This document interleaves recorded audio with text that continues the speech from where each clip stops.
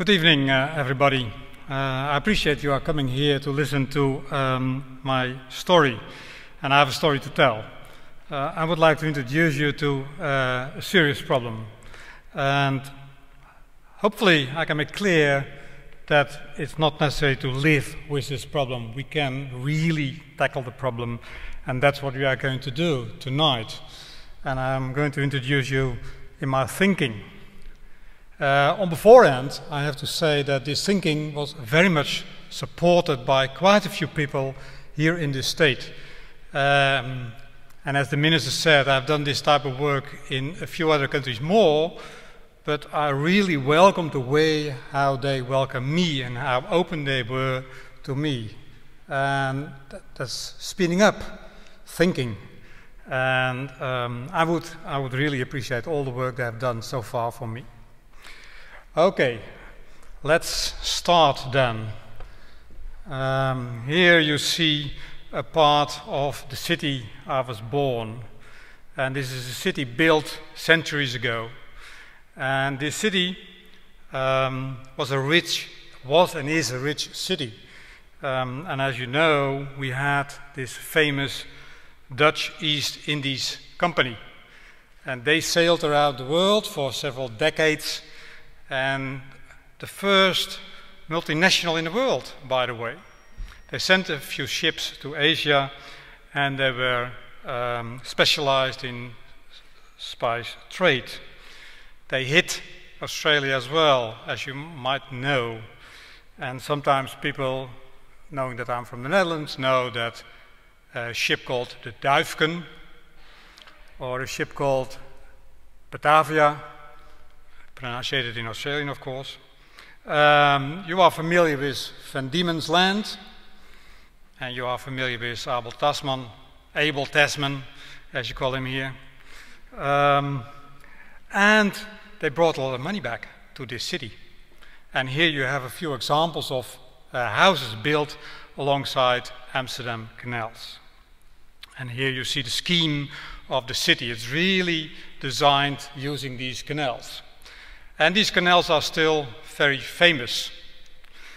And here you see what's happening if the Dutch soccer team only wins the second place at the World Championship in South Africa.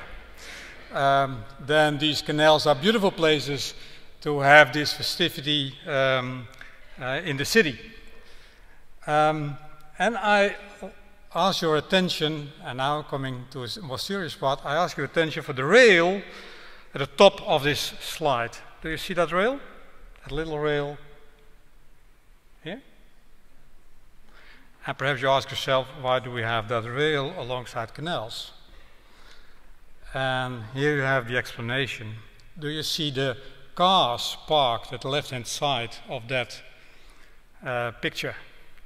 And it's simple like that. By this little rail, we prevent cars hitting the canal when they are parking. And we have these little rails alongside all canals. So you cannot say, I know a spot where a car hit the canal, so I put a little rail over there. Of course not. You, you surely know that you have to do that everywhere. And that happened. Before we killed a few people a year in these crashes, they drawn in the water. And now we have that and we solved the problem. When I was thinking about road safety in Australia, I came to this example. And here is the example of your country. When I arrived in the state, I saw these famous Stobie poles. And the big question is why do you have these famous Stobie poles so close to a road? The best thing you can do is to stop before you hit one. but basically, we have to get rid of them all. You cannot say, I, um, I uh, remove one. You have to remove them all. And I learned the story behind why you don't do that, but I don't think you can escape with that type of story. So please, do me a favor and think about how to get them being removed in the future. And it's very cynical to learn that sometimes the po these poles are replaced exactly the same way after killing a driver. That's pretty cynical indeed. Okay, first message. Um, here I have um, a, a, Belgian poet, somebody from the Netherlands citing a Belgian poet. It's extraordinary, of course, if you know a little bit the history in Europe. But nevertheless, it's fully true, and it's, it's, it's, it's my story. And it's a story for road safety. Between vision and action, there generally exist impediments of legal regulation and practical obstacles. And I see it as my task to deal with these legal regulations and obstacles, how to get them away in order to re reduce the, the death toll. These are the seven items I'm going to address tonight. And for a lecture, it's not unique, perhaps. You recognize perhaps the pattern. I'm going to talk a little bit about the analysis, the vision, some introduction to actions and measures. I'm going to talk about cultural change, which is needed, in my opinion, in this state in order to make progress. Of course, I'm talking about implementation. My idea would be to uh, announce a few demonstration ideas, and then I have three simple conclusions. The minister was talking about this already. You made, in this state, an enormous progress over the years when it comes to fatalities and when it comes to serious injuries. These figures are fatal crashes and injury crashes. I believe it would be good to pay more attention to the problem of injuries and serious injuries. I have a figure here that road crashes are costing this state 1 billion Australian dollars a year. I do believe this is an underestimate. I've seen the way you make the estimate here, and here you can improve yourself a little bit. And my assumption would be that this figure would be something like 50% higher than this 1 billion. I'm not going into detail on that, but read my report about it. But it's more important to know that 50% of these costs are related to injuries. 25% are related to fatal crashes and 25% are related to damages.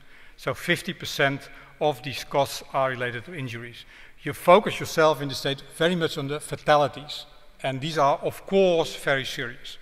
However, it would be good to pay more attention in all your communication and action to injuries.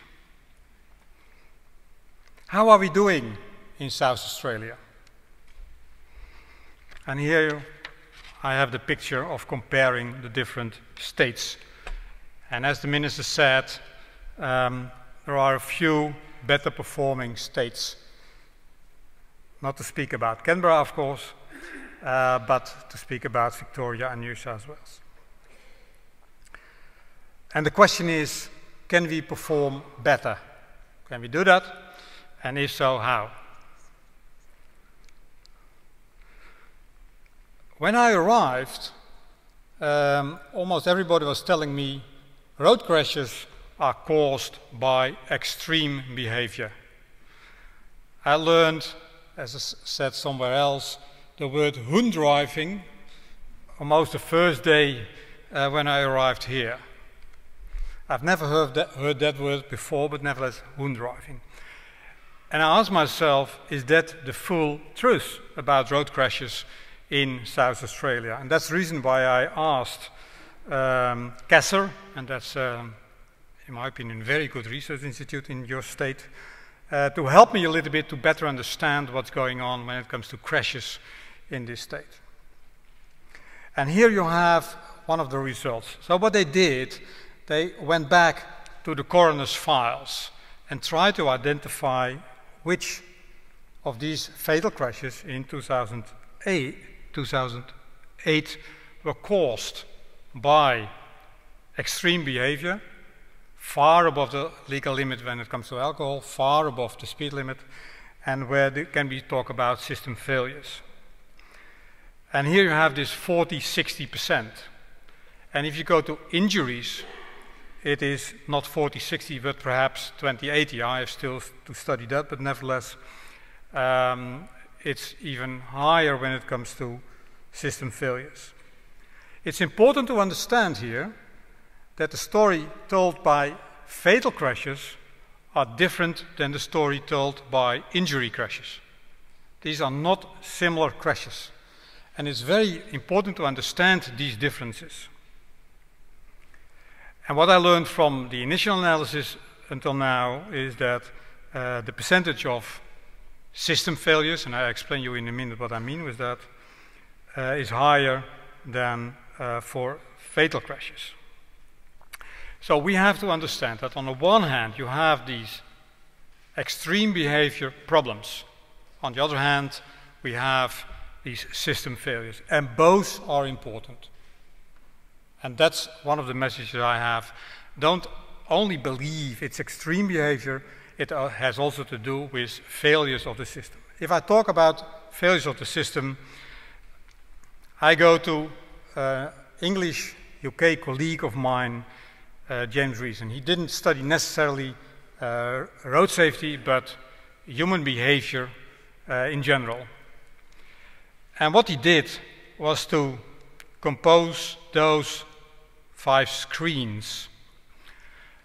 Sometimes people refer to the Swiss cheese model. All these screens have holes in them, and these holes are latent errors. In themselves, these holes are not dangerous. They're not causing a crash. However, because we have these holes, a crash can occur if unsafe behavior related to these latent errors of the system together allow us for a crash. What we did in the past in road safety is paying a lot of attention to unsafe actions, risky behavior, and we fully understand that. But we learn more and more, not only in road traffic, but also elsewhere, that we have to change the system in order to uh, allow people to perform better. And that's basically what we try to do. Try to get rid of those latent errors, have to accept that human beings sometimes make errors, sometimes they violate, but nevertheless, this will not result in a crash.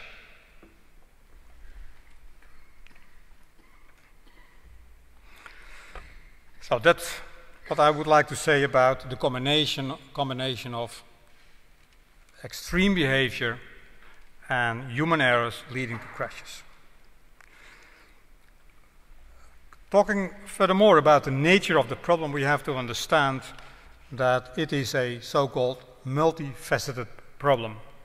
It's not a simple problem because we have many aspects related to crashes, and I gave here a few examples. So it has to do with a combination of circumstances most of the time, it's seldomly one cause. The problems in the metropolitan area are completely different than in the rural or the remote areas. The problems of different transport modes differ. The problems of different age groups differ. So it's all differences. And we can never say we have a simple solution and buy that one and simple solution, except perhaps seatbelts. That's a very simple solution. The only problem is how to get that being done. We have some thoughts about that, but nevertheless, that's a simple. But most of the time, these, these causes are complicated. We have to understand and to accept that it's a multifaceted problem. The second element of the nature of the problem is that it's not just one simple King of South Australia, sending the Royal Road Safety Force of South Australia to South Australians and solve the problem. I believe there is no king, and I know there is no uh, Royal Road Safety Force. So all these partners have to play a role. And above that, it's always the distinction between the individual responsibility and the responsibilities of these partners. And that's a very important aspect.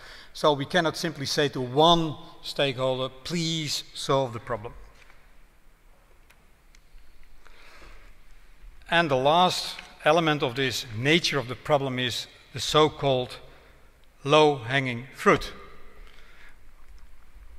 We have to stretch more and more to solutions. The easy solutions have been done already. Jack McLean here in the room gave me a couple of months ago a long list of all the countermeasures you have taken in this state already. And it was pages and pages with all sorts of measures. You have done that in the past. And now you have to move towards next measures. And that's not easy. So the low hanging fruit or the silver bullet, I apologize to let you know, is not available. It's a complicated, it's a complicated game to play. When I come to a vision, um, I would like to understand you this. In the past, it was our habit to look at the crash like that and to ask ourselves who to blame, who to punish for that crash. Can we, can we look for um, one cause? Can we look at what caused this crash? Now, we learn more and more that that is not the right approach. It's far more better to ask ourselves how could a crash like that happen on such a road? What are the reasons behind that? And again, seldomly that's a simple reason. Please uh, remember those screens of James Reason, the Swiss cheese model. And there are holes everywhere, and we have to analyze and identify these holes everywhere. And that's the reason why we move away from the idea to blame the driver, to blame the victim, and to see it in a more broader perspective. And that's known as the safe system approach. And I have here a few lines from a report from OECD 2008. And these lines are, I believe, very important for the next steps, also for us. Crashes will occur and road users will remain followable, notwithstanding prevention efforts. Road safety is a shared responsibility of road users and system designers and operators. Don't blame the victim. Road safety decisions should be aligned with broader transportation decisions, and this approach shapes interventions to meet ambitious long term goals rather than relying on traditional interventions. This approach, the safe system approach, was applied in my country.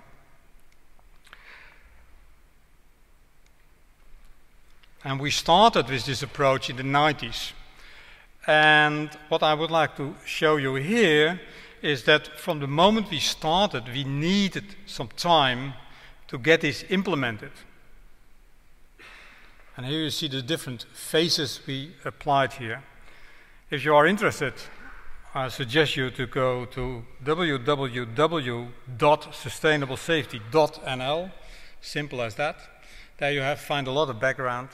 We implemented this for about a decade, and we had a result, uh, evaluation result, um, about two years ago, indicating that this result, uh, this approach, reduced the number of fatalities with 30 percent.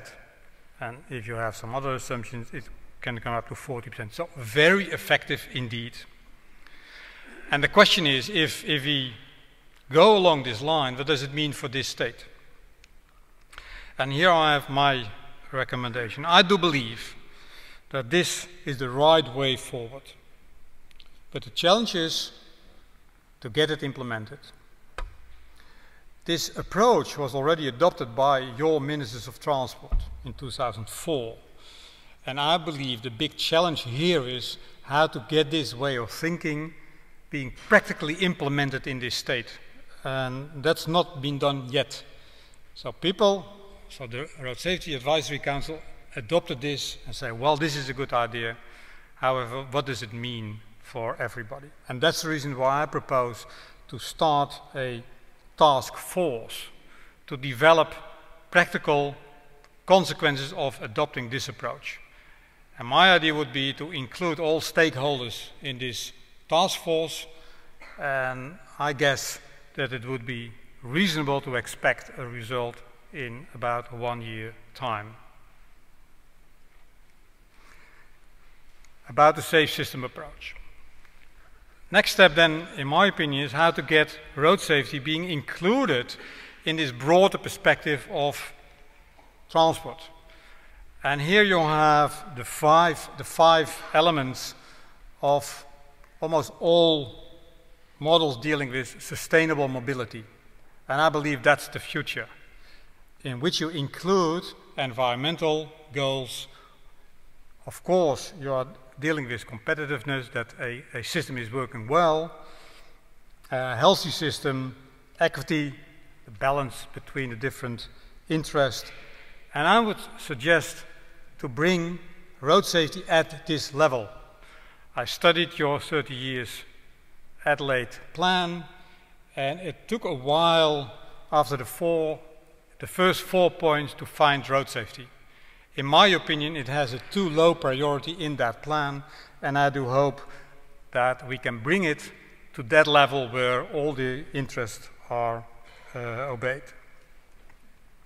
We have visions for all these other areas. We have a vision how to deal with economical um, sustainability. We have a vision how to deal with healthy transport and equity. We have a vision about competitiveness. We don't have it yet for safety. That means in this approach, we integrate safety in decision making with all the other important components of transport. That means, for example, to integrate road safety in plans such as the 30 year plan and such as health in all policies. And I do believe that this health in all policy is a kind of an invitation to us to cooperate with them.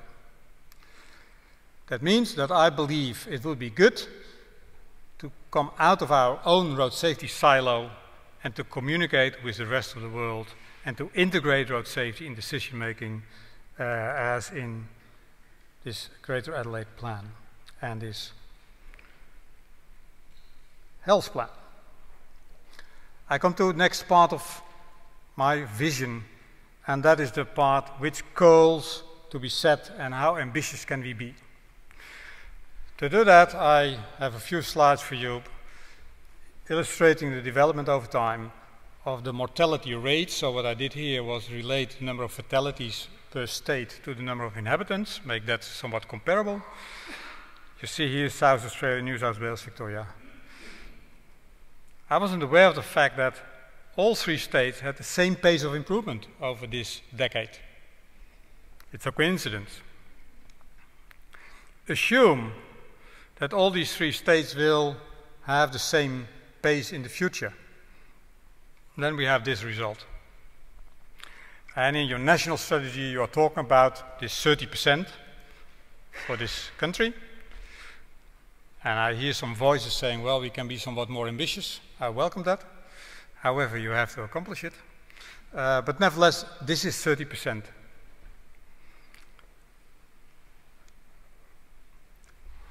as the minister said, we are still somewhat behind the best performing countries in the world. And you see that these countries, the so-called SUN countries, um, that they have still the ambition to improve themselves. So that means that these countries didn't decide yet. We, um, we reached the end of, of the development, the, the, the law of diminishing returns. Now they are moving on. And I question, question you, what kind of goals could we set here? The first you can think about is why we are not catching up with New South Wales. If we are going to do that, we have to reduce the number of fatalities or the mortality rates. It's 40%. But you can make another statement, and I, and I, well, I, I present it to you. And I hope to learn the response of the road safety community and all the other decision makers in the future. Why we are not going to catch up with the best performing state in this country. Is there a good reason why South, South Australians couldn't benefit from the same level of road safety as the Victorians? And one of the lessons I learned the last couple of months is that you like to beat Victorians. for whatever reason. But, but serious, why couldn't we try to do that in, in, in a decade time? Um, of course, we have to be realistic, I know that. But nevertheless, this, this would be my advice to those who are now developing the state strategy on road safety. See whether we can reach that level, assuming that South Australia will improve itself over the next decade as well. Okay. Move to actions and measures. I apologize for those who are expecting me to cover everything. I cannot do that.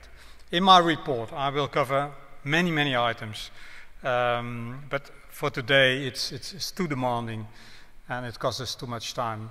But I have a few ideas and I would like to present them to you. And again, if I'm not covering your topic, please contact me and I certainly do it in my final report. Don't worry about that. So it's at least my ambition to cover the whole spectrum. Engineering, enforcement, education, well-known ease in the road safety community. I add to that emergency services and I would like to broaden that a little bit to health. And I go through these elements uh, step by step and give you some of my recommendations um, as I formulated them. This is uh, my own piece of work.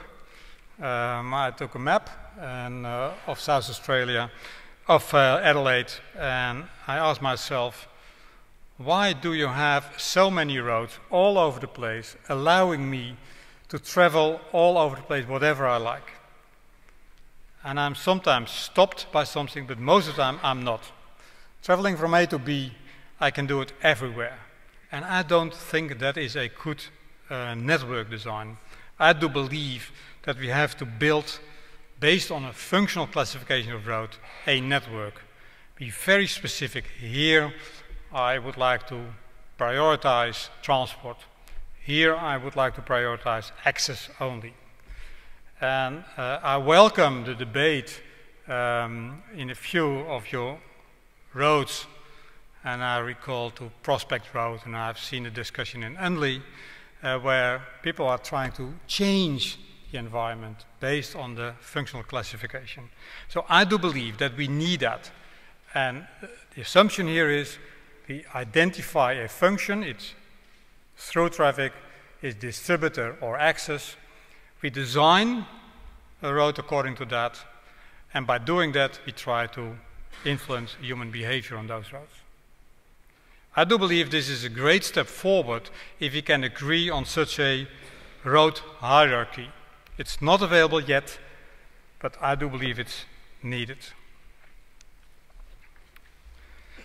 As said, I do believe that we have to leave our silo, our road safety silo, and we have to move on to other areas where we can have our influence.